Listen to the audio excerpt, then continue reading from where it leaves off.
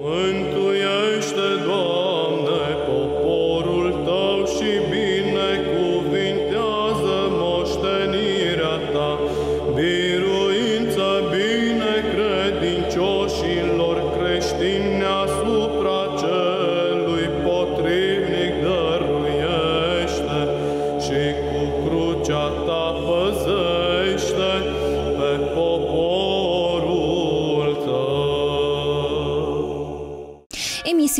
Emisiune realizată cu sprijinul Mitropoliei Ardealului, Mitropoliei Banatului, Arhiepiscopiei Ortodoxe Alba Iulia și Episcopiei Ortodoxe a Covasnei și Harghitei. De ce este considerat experimentul de la Pitești unic în lume? Pentru că era pentru prima dată când prin tortură nu se urmărea nimicirea deținuților prin chinuirea lor fizică și psihică. Era pentru prima dată când se dorea în fapt uciderea sufletească, transformarea omului în tabula rasa, în schimonosirea personalității, astfel încât omul să renunțe la tot ce a iubit vreodată, să renunțe la Dumnezeu, familie, prieteni, la toate valorile și principiile și să devină o legumă care să asculte orbește ordinele autorităților. după experiențele abisale pe care noi le-am făcut, abisale în care în sensul a fost cuprins spiritul și trupul săracul care a suportat uh, supliciul fizic și, pe urmă, și supliciul de care s-a simțit și sufletul, uh, făcând, obligat să-ți faci rău vecinului, asta e o chestie de în care începe să fie torturat spiritul, nu sufletul. Dar uh, trupul prin interiorul trupului, că dacă nu făceai chestia asta, te jupuia ăla sau în orice caz continua cu opresiunea. Acest proces diabolic a fost reflectat de Constantin Oprișan în amplul său poem filozofic creștin Cărțile Spiritului. Atât de sublim poemul respectiv și experiența lui a fost atât de sublimată încât totul este transfigurat E ca la un cazan de țuică, într-o băutură, nici nu știi din borhotul ăla ce a ieșit, că să te miri că a ieșit un lichid atât de parfumat, atât de tare și atât de nu știu mai ce. Că toate scenele astea tari uh, sunt transfigurate în niște întâlniri, de pildă, între diavol și el, spiritul care îl reprezintă Oprișan, sau între de pildă, întâlnirea cu Goethe sau cu taverna scritorilor ăstora occidental, pervers și făcut, nu? Toate astea sunt rezultat al unei sublimări, a unor scene și a unor momente de teroare prin care săraci au fost trecut timp de un an și ceva. Că ăsta a fost sper specificul terorii de că nu credeai că se mai sfârșește vreodată. Nu. De aici nu scăpați. Și totuși, scăparea există, iar ea poartă numele lui Dumnezeu. Poemul este un ghid de supraviețuire într-o lume în care Duhul rău a cuprins aproape toate laturile existenței, iar singura soluție care îi rămâne omului ca să iasă din acest labirint este credința în Dumnezeu. Doar cu ochii ațintiți la Hristos, omul se poate elibera și scăpa din orice cursă pe care potrivnicul i-o întinde. Numai cu ajutorul lui Dumnezeu chiar și cei care nu au evidența respectivă, noi ceilalți știm că dacă Dumnezeu n-ar fi intervenit în ăsta, piereau și ei. Au fost salvați că am fost salvați și noi, cei care, să zicem că Dumnezeu a vrut să-i salveze. Modelul eroului care fusese cultivat în perioada interbelică se regăsește în poemul lui Constantin Oprișan, în personajul Don Quixote, care mereu îi dă sufletului imboldul de a nu rămâne cantonat în rațiune, ci să-și urmeze inima. Când ochiul nu mai vede și drumul pare închis, iar Duhul îndoielii spre întoarceri te împinge, închide ochiul searbăd și aruncă-te în abis, lovind cu pieptul moartea și sigur vei învinge. Don Quixote este un ghid bun în călătoria sufletului până la un punct, după care se vede neputincios. Don Quixote este privit ca cel ce încearcă în planul acesta lumesc al lucrurilor să uh, se rupă de evidențele acestea um, uh, pur materiale și să caute undeva un, un ideal. Don Universală, Don Quixote este un foarte frumos simbol.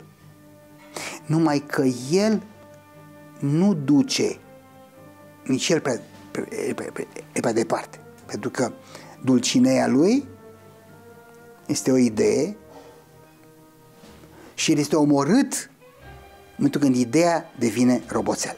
Aici tocmai apare, să zicem, transformarea eroului în mucenic, în martir, în mărturisitor.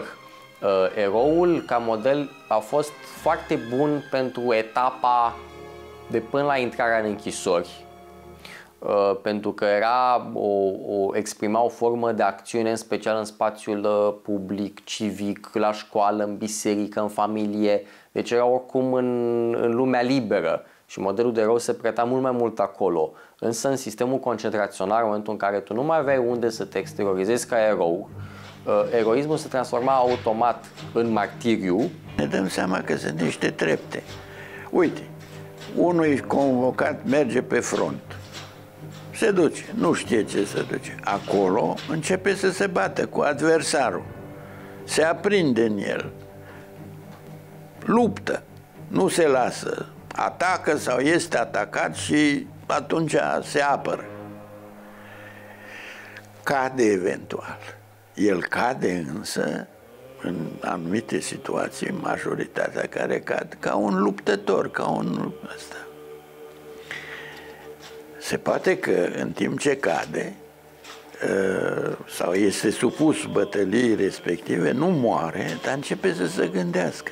De ce ne batem noi? De ce îl lovesc eu pe ăla? De ce mă lovește el pe ăla? E drept? Nu e drept? E, e, e, și atunci îți dai seama că asisti la un proces personal de cunoaștere și de cunoaștere și altora care sunt lângă tine și atunci aici este e o nouă categorie pe care o câștigă omul, adică categorie, o calitate, este aceea de martir. No, cum a fost și în închisoare și Oprișan și Calciu și ăla, cum îi zice, Sfântul Închisorilor, Gafencu și nu știu. Dumne, ăștia au trecut și de stadiu de erou, și de stadiu de martir, și de stadiu, zice că acum mai e de sfințenie. Nu știm că sfințenia e un atribut care îl acordă Dumnezeu creației Lui.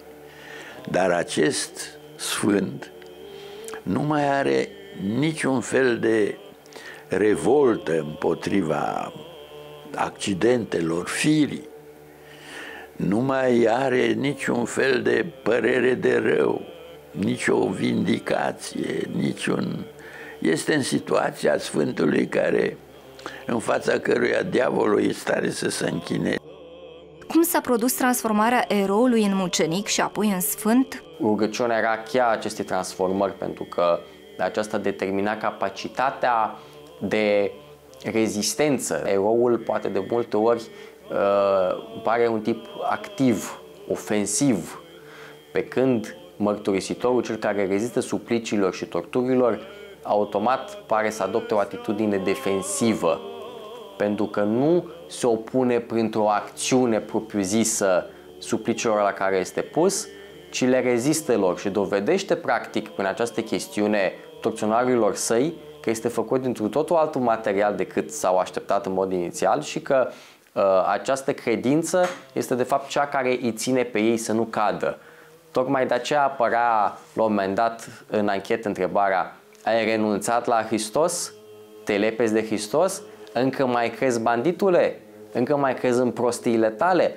Pentru că torționarii înțeleseseră că cheia acestei rezistențe și a transformării eroilor care fusese băgați în închisoare în, în mărturisitori și mucenici este credința. Împărate Ceresc, Preasfântă Treime și Tatăl nostru, cu astea să începe. După aceea există psalmi, peste toate rugăciunile astea, că n-ai voie să te urci în situații în care nu ai timp și ăsta să te mai și rogi așa. Și atunci mai există o rugăciune, rugăciunea inimii. Atât, Doamne Iisuse Hristoase, Fiul lui Dumnezeu, miluiește-mă. Sau dacă nu, numai, Doamne Iisuse, scapă-mă sau mă rog. Dar spusă din inimă, nu așa teoretic, așa cum aș citi eu. Vă, ajuta, vă ajutau condițiile de acolo să o spuneți, să o trăiți, să aveți acea trăire? Da, că erai obligat să nu te mai intereseze ceea din jur. Sau erai să obligat să mor de sete sau să mor de foame. Spunea, Doamne, nu știu ce să mă fac. Sunt niște lucruri care nu se pot traduce în cuvinte să, să fie exprimate. Sublimate într-un poem ca la Oprișan și că asta s-au mai putut și nici astea. Trebuie să ai, mă rog, nu știu ce cheie sau ce simți ca să faci deslânarea încălcelii astea pe care vorbele ți-o prezintă.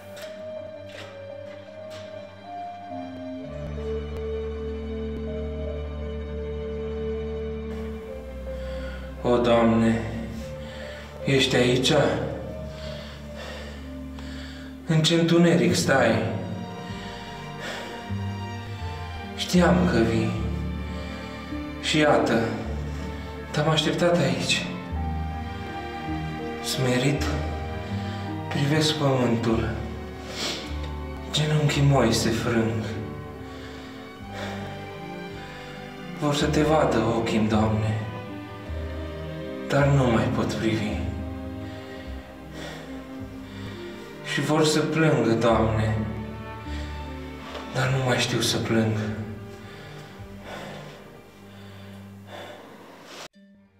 Plânsul e momentul în care omul se, se, se ușurează. Tot spun, și o stare rea am, uh, oh, am plâns puțin și m-am, m-am, m-am, m-am ușurat. Este ca o, ca o eliberare ca o ajungere la, la oază. Când ajungi la oază, dar noi încă îl căutăm pe Dumnezeu și n-am ajuns încă să pot să plâng. Încă, încă mi-e greu, încă, încă mă zbat. Pe Costache Oprișan l-ați cunoscut? Da. Și ce vă aduceți aminte? Pentru mine e un sfânt. pentru mine sunt. N-a cedat, n-a cedat comunismului care era considerat fără Dumnezeu. E un transport enorm. N-am cedat niciodată când s-a cerut să, să îți abjuci credința. că ei asta credeau că te răpune. Erau împotriva lui Hristos. Noi credem că a ajuns la pragul de sfințenie. Sfințenie e un lucru pe care numai Dumnezeu l-a poate. Dacă citești atent poeziile, adică poemul ăsta, că nu e o poezie obișnuită de nu știu mai ce.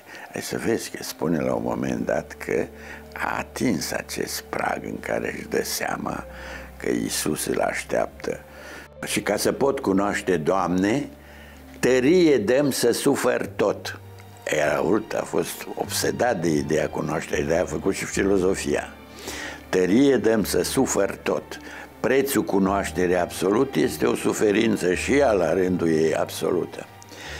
Iar mișcarea legionară, prin pretențiile pe care le-a avut, nu-i temniță să ne spământe nici chin, nici viforul dușman, iată că a venit încercarea asta supremă în istoria secolului 20 pe România, în care legionarii au fost încercați la nivelul tineretului respectiv cu niște chestii da, sublima tortură, cum să zic, care s-a putut imagina de către adversar.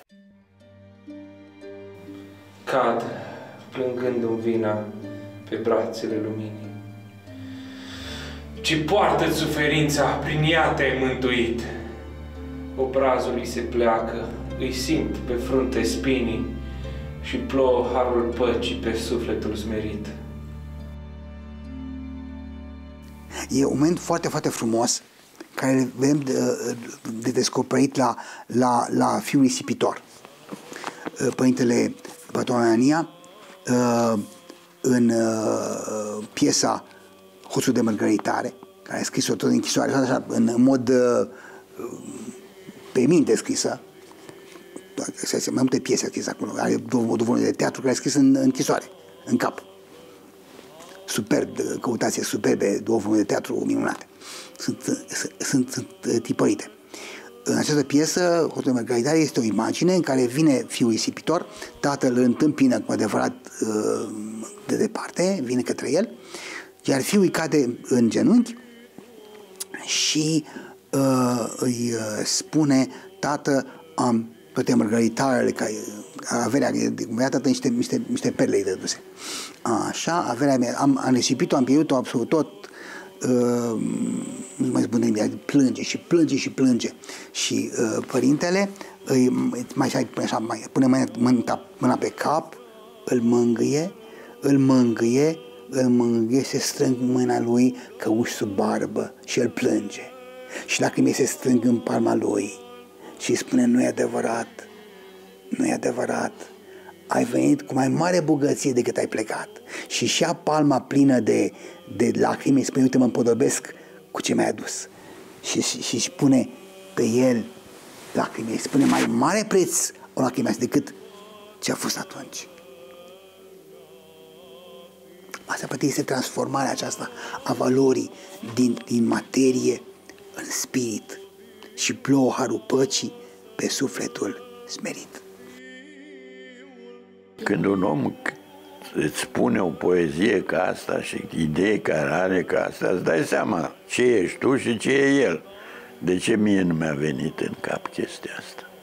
Mi-a venit doar atât, să păstrez ceva, e cum ai găsi o piatră prețioasă, n-ai creat-o tu, dar vrei să o păstrezi, că na, e prețioasă. An de zile, Marcel Petrișor și părintele Gheorghe Calciu i-au păstrat în memorie versurile lui Constantin Oprișan, pe care le-au publicat abia după 1989. De multe ori te gândești, Dumnezeu, de ce ne ține? Cauza cauzelor. Ne ține pe lângă El ca să îl auzim, să înregistrăm chestiile astea și să lăsând la o parte ideea de valoare pe care noi o consideram față de el, că asta, dar Dumnezeu așa a vrut ca, având conștiința valorică a creației pe care o avea Oprișan, să-l susținem în continuare, că dacă nu-l susțineam, nu ne susținea nici Dumnezeu. În ultimele zile pe care Constantin Oprișan le-a petrecut în corabia morții de la Jilava, alături de Marcel Petrișor, Gheorghe Calciu și Iosif Eve Iosif, le vorbea celor trei doar despre Hristos și despre iubirea de Dumnezeu și de oameni. Mă scuipa într-o sticlă. De ea nu se prindeau nici gardienii. Mi-era așa de greață mie Calciu să uh, se ocupa cu sticla să o spele. Ai, și când zice, zice, și eu o să mă rog pentru voi ca să vă ține Dumnezeu să puteți continua mai departe. Ocazia morții lui Oprișan nu a fost un fenomen acolo. Calciu și-a tăiat venele, a vrut să-i dea sânge ca să mai este. Ori așa ceva, asta este gen de martir, de Calciu, cel care a fost în Pitești, au fost uh, constrâns puțin să-l oprime pe Oprișan. Nu? Costache, bea!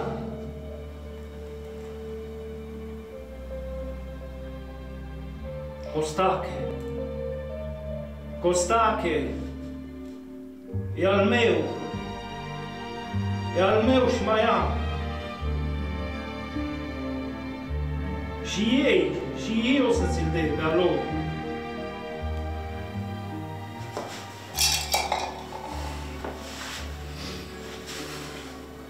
Prea târziu. Prea târziu. Costache e departe acum.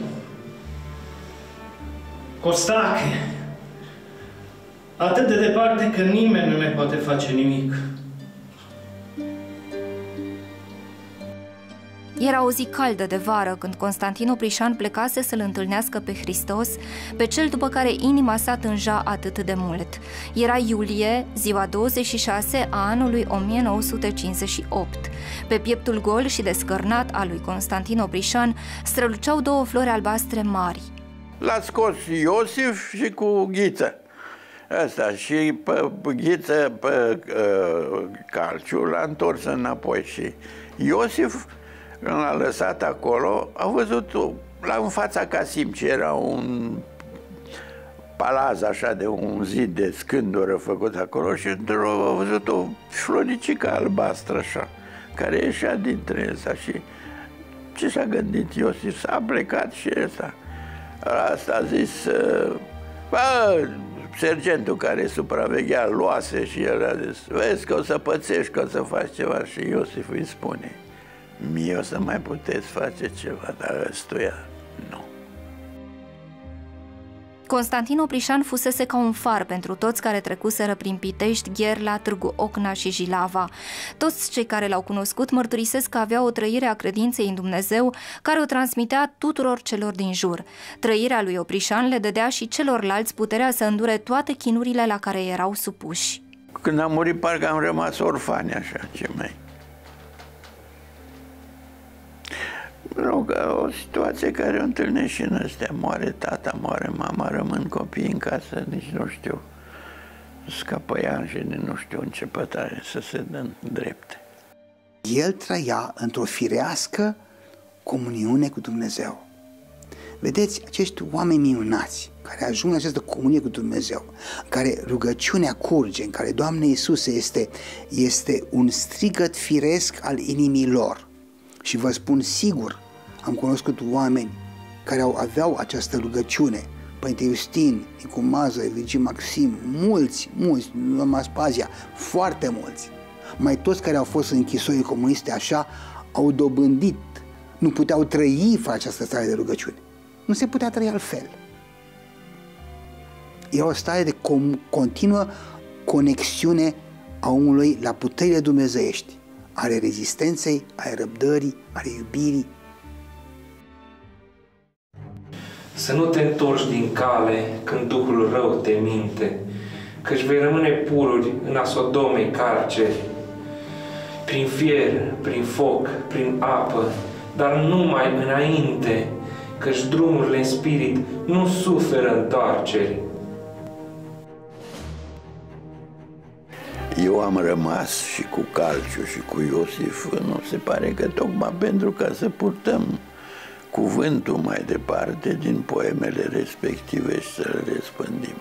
Am răspândit acum a făcut. Iată că te-ai legat și tu și domnii și toți ăștia care fac efortul ăsta să continue un lucru la care Dumnezeu nu vrea să renunțe ca să se păstreze în istorie.